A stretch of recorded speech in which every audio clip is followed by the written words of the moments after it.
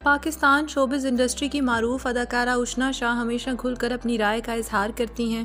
हाल ही में उषना शाह ने खातन को ताल्लुकात के बारे में कीमती मशवरा दिया है। उनका कहना था कि अगर कोई मर्द किसी लड़की को ख़ास महसूस करवाने के लिए दूसरी औरत को नीचा दिखा रहा है तो आप उस मर्द से दूर भागे।